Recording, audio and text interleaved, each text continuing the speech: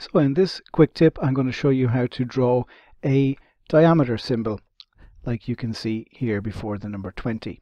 So this is a multi-leader so I'm going to come up to my annotation tab and I'm going to put on a multi-leader. My landing location is going to be here and I'm going to put my leader location like that and I want to write 2 at diameter 20 and here's how you get the diameter symbol. You have to put in a special code. It's percent, percent, and then the letter C, and that will convert it to a diameter symbol.